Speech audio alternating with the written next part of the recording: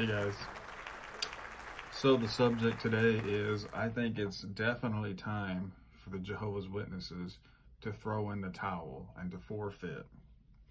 So the Jehovah's Witnesses have been trying to reverse all these court cases that they're running into, all the um, sexual abuse lawsuits that they are losing, they are trying to reverse. Now, the reason I say that it's time for them to forfeit is because by their own doctrine, they have proven to not be the truth. All the failed prophecies and the encouraging their elders to lie under oath.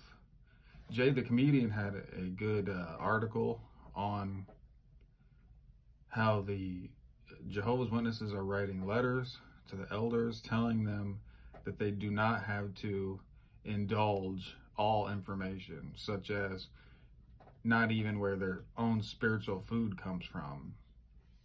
Well, why would they want the elders to lie about where their spiritual food comes from? Well, it's because it comes from the governing body. But they don't want people to know that it comes from the governing body because that puts them in a direct hot seat that they are already in right now. so what they're trying to do is set up a system where uh, it looks like nobody's in charge.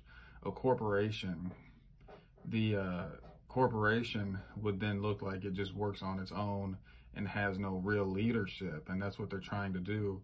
And by doing so, weaseling out of these these uh, lawsuits as people that are in charge.